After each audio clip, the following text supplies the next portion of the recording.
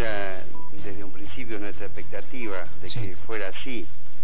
Defendimos desde el momento que se nos eh, agraviaron respecto a nuestra competencia, nosotros nos tocó defenderla.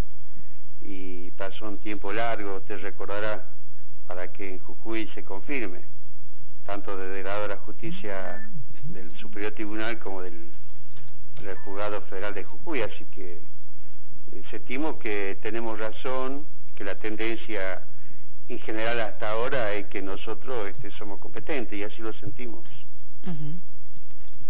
Así que nosotros venimos cumpliendo este tiempo las pruebas pendientes de producir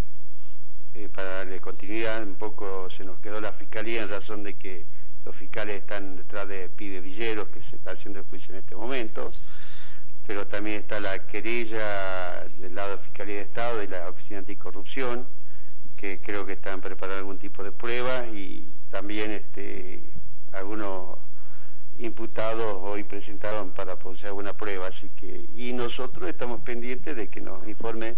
nos termine de informar la UIF sobre algunos detalles que había pedido la Fiscalía de Investigación. Así que hay puntos importantes a todavía producirse y que creo que durante el tiempo que nos queda, con la expectativa de que podamos cerrar la investigación, podamos tener toda la prueba que haga falta.